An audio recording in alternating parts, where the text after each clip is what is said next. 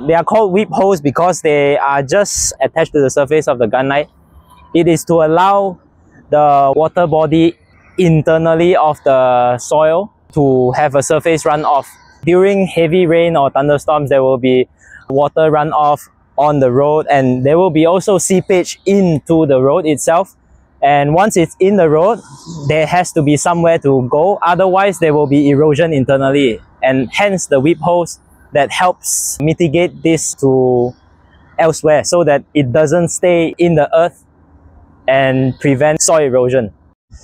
More closer, you can observe actually inside of this layer of uh, guniting, you can see that there are uh, BRC meshes over here. This is the BRC in raw form. So all of these are embedded inside here to form a layer of protection in order for the gunite to adhere on top. So here there is also an access road.